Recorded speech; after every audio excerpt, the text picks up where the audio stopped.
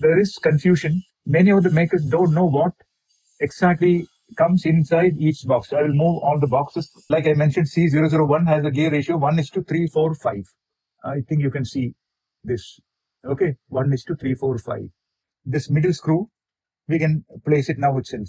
Uh, this is not centered, so we don't know how it will move. Okay, it will go into one side. So,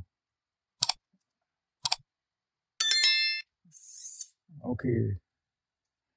And then say this will be something like, okay. So that is it. We are not going to calibrate anything yet. We are only confirming that it is moving.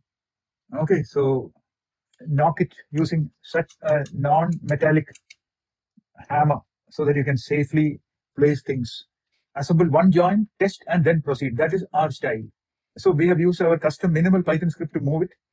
These parts, you can print it. It is open source. It's available in Hugging Face and these motors can be ordered depending on the country that you are in. In case if you can't get these parts, you can get it through us as separate kits, separate, separately printed parts and the motors or we also assemble, test and calibrate and uh, ship as well. We also have one-on-one mentorship and training program for AI and robotics. So this is our real robotic engineers work, control, verified, repeatable steps. If you're serious about learning AI plus robotic the right way, don't skip episodes.